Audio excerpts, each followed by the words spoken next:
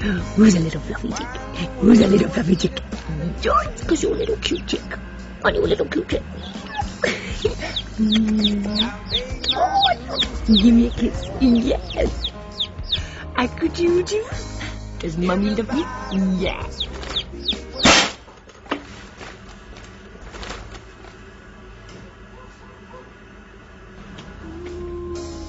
Why